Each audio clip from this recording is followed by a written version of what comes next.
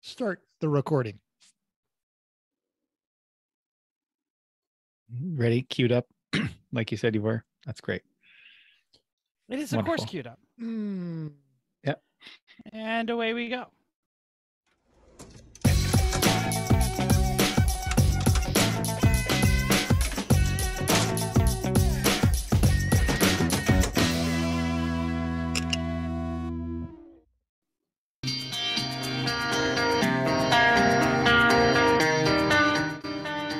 Welcome to Everyone Racers. Racers, a show designed for the world of low dollar racing and oddball car culture. It doesn't matter what kind of limit champ or lucky track dog league you run. SCCA or NASA, we won't discriminate. As long as you drive it hard and built it yourself. Join us each week for tech discussions, tips, Tricks, as well as news and notes from the world of amateur endurance racing. And whether it's on the spot, hella sweet, or we're lucky enough, and Chrissy, Chrissy, And Chrissy, and I give you just the tip. Oh, I hit stop too early again. I apologize. For sure, you'll learn a little and learn even well, learn some and whatever. Everyone, report to the paddock. This is Chris. This is Chrissy, I'm Jeff. I'm mental. and this is our first show. Welcome, welcome, please, and thank you. We had to re. I won't even tell you what we had to do already today.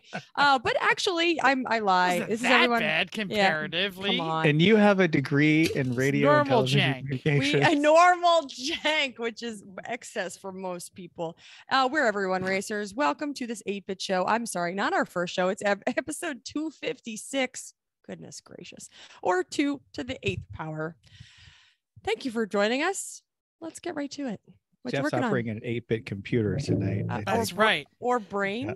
My Yeah. finger was hovering over the button, and all of a sudden it just went. I was like, I didn't touch that. I swear. I It's like, I'm swear, not- I'm not touching I, you. I never pushed I'm the not tou- button early. I I'm totally not swear. touching you. I'm not Never touching happens. you. Only tonight. Uh, Come on. Uh-huh. okay. Jeff, what are you working on? Oh, Uh, we we just got back from the Thompson race, so I was unpacking and returning trucks and trailers and RVs because I had never returned the Boy Scout trailer from camp the week prior, and then like the RV was living in front of my house, so I had to like take care of all of that business. And uh, since then, I've been sleeping in the guest room because the whole house has COVID, but me. Yeah, I went to a race and left my family sick at home. They You love it. quarantined. You Nothing else they're quarantined gonna do. Yeah. at the most at the place where you could do the most good. That's right. That's that's what I've been doing. And then going back to work, of course. No big deal. What's uh you working on, Chris? Um, well, a bunch of stuff after race. Chris, you'll go through some of that. Uh, I did a post race on the Mazda, uh, cleaned it up a bit. The two things that were bothering me at the end of the race was it wasn't running quite right, like not bad, but not quite right. Um, and also there was some kind of rotational noise I thought coming from the right rear. So um, gave it all at once over. I in the right rear, the caliper seems to be binding up a little bit. So I think that's probably the the rotational noise, as the caliper wasn't ever releasing all the way. Um, and that that caliper is original to the car with 256,000 miles on it. So it's time. It's I'll replace that one. I have a used one downstairs that'll go on. I did a compression test on the motor just because I hadn't done one in a long time. I found a fair amount of oil down the spark plug wells from the Mazda Valdez incident because it got down in the valve cover and around the coil. So that might have expected, right? I right mean, but that that can't have been helping things in in running the running well department did a compression test cylinder number one 200 cylinder number three 200 cylinder number four 175 cylinder number f- so three 175 cylinder four 200 so not that bad I'll take that. i'll take that and when i put some oil down it came up to came up to 190 Hmm. so like, I retract that- my ooh.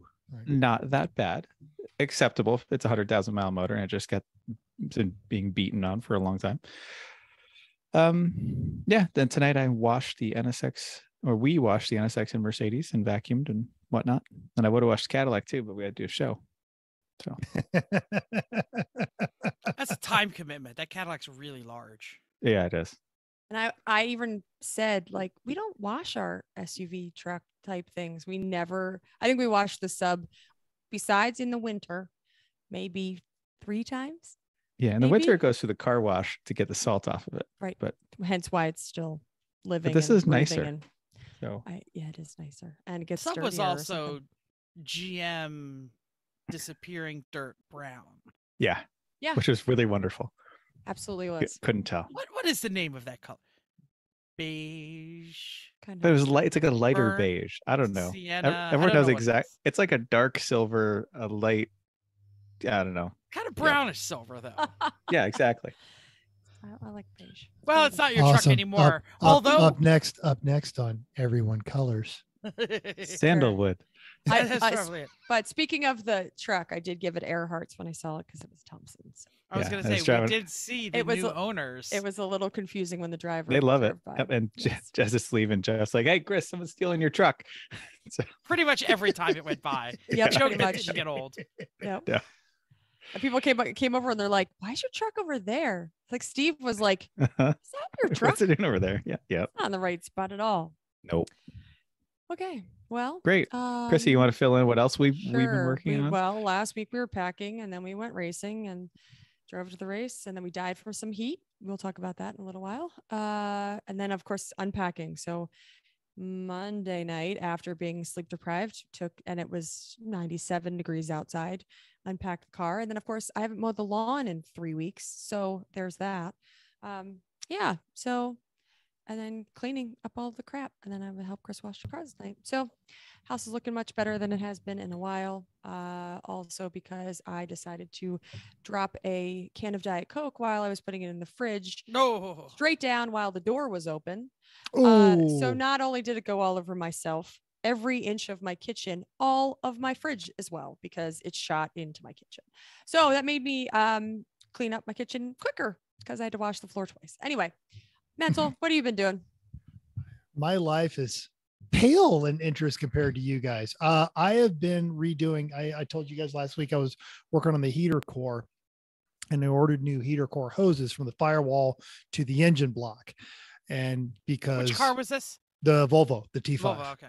and I I literally spent two nights trying to get one of those hoses from the firewall back onto its pipe on the engine block.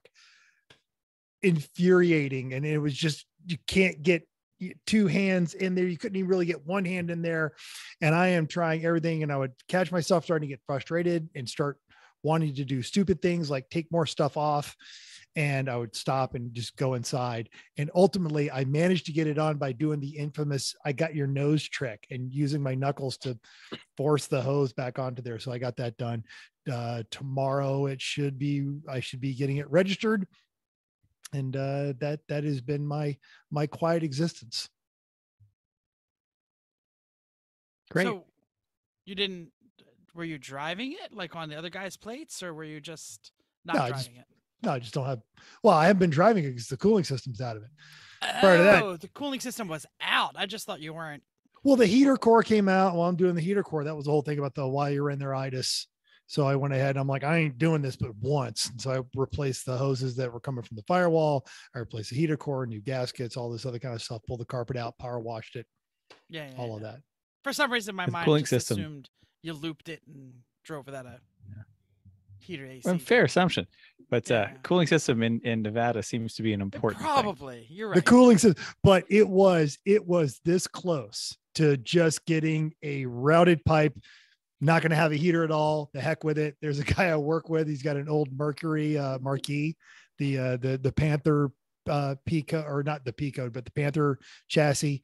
Yeah, yeah. and um, his heater core went out and he took one look about how far up in the dash it was nope cut him Don't at the need that. firewall ran a ran a those there he has no heater he's fine he's got another car he can get to work ain't nobody got no time for that I mean, it's it's not that cold that often. So it, it gets cold when you go up. up in the mountains, though. Don't In the- you? I mean, yeah, but yeah. like in the mornings, so you, it might be a little chilly, yeah. but you, you can wear a coat. Up there.